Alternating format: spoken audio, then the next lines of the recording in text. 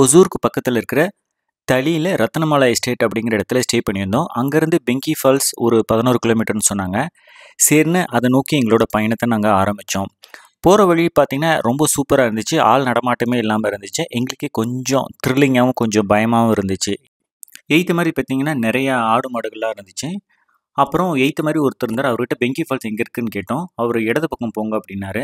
சரின்னு நாங்கள் வண்டி இடது பக்கம் திரும்பி எங்களோட பயணத்தை ஆரம்பித்தோம் நடுவில் அப்பப்போ விலங்குகள்லாம் வந்துட்டு இருந்துச்சு.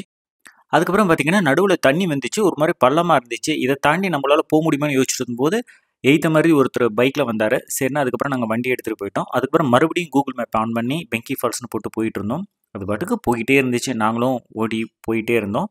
தமிழ்நாடு பார்டர் கர்நாடகா பார்டர் மாறி மாறி வந்துகிட்டு இருந்துச்சு.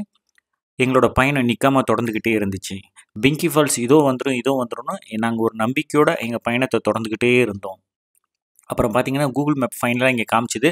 கடைசியில் அங்கே ஒரு நாய் கூட விளாண்டோம் கடைசியாக அது பெங்கி ஃபால்ஸ் கிடையாது ஒரு ஃபாரஸ்ட் ஏரியாமா எகெயின் ரிட்டர்ன் எடுத்துக்கிட்டு நாங்கள் திரும்பியும் வந்தோம். மறுபடியும் ஒருத்தர்கிட்ட கேட்டு மறுபடியும் வேறு பக்கம் போனோம். அங்கே பார்த்தீங்கன்னா அங்கேயும் பெங்கி ஃபால்ஸ் இல்லை. போய் ரொம்ப ஆர்வமாக போயிட்டு ரிட்டர்ன் ஆகிட்டோம் அதுக்கப்புறம் கடைசியாக ஒருத்தவங்க இப்படி போங்க வயல்வெளிக்குள்ளே போங்க அப்படின்னாங்க. எங்களுக்கும் ஓகே இது ஒரு திருளான அனுபவமாக இருக்கும்னு சொல்லிட்டு வயல்வெளியை கடந்து போனோம். எங்களுக்கே பயங்கர ஷாக்காக இருந்துச்சு. அப்படின்னா அங்கே நிறைய எலக்ட்ரிக் ஃபென்ஸ் இருந்துச்சு. அதில் நம்ம கேர்ஃபுல்லாக தான் போகணும். கொஞ்சம் பட்டாலும் நம்ம ஆளையே கொண்டுடும் ரொம்ப கேர்ஃபுல்லாக இருக்கணும்.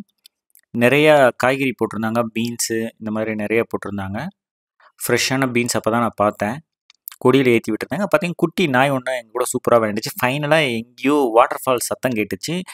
சரி கண்டிப்பாக இது பெங்கி ஃபால்ஸாக தான் இருக்கும் அப்படின்ட்டு ரொம்ப ஆர்வமாக ஓடி போனோம். பார்த்தீங்கன்னா அந்த சத்தம் அப்படியே எங்களை கொஞ்சம் கொஞ்சமாக நெருங்கிட்டு வந்துச்சு. இப்போ எங்களுக்கு ஒரு நம்பிக்கை வந்துச்சு கண்டிப்பாக பெங்கி ஃபால்ஸ் கிட்டே வந்துட்டோம் அப்படின்ட்டு. கரெக்ட் நம்ம சொன்னது நம்ம நினச்சது கரெக்டு பெங்கி ஃபால்ஸை நாங்கள் பார்த்தாச்சு. பட் ஏன்னா மேலே வந்துட்டோம். இங்கேருந்து நம்ம குளிக்க முடியல. நம்ம கொஞ்சம் கீழே வந்திருந்தா குளிச்சிருந்துருக்கலாம். பட் எனிஹேவ் பெங்கி ஃபால்ஸை நம்ம தொட்டு பார்த்தாச்சு. ரொம்ப சூப்பராக இருந்துச்சு.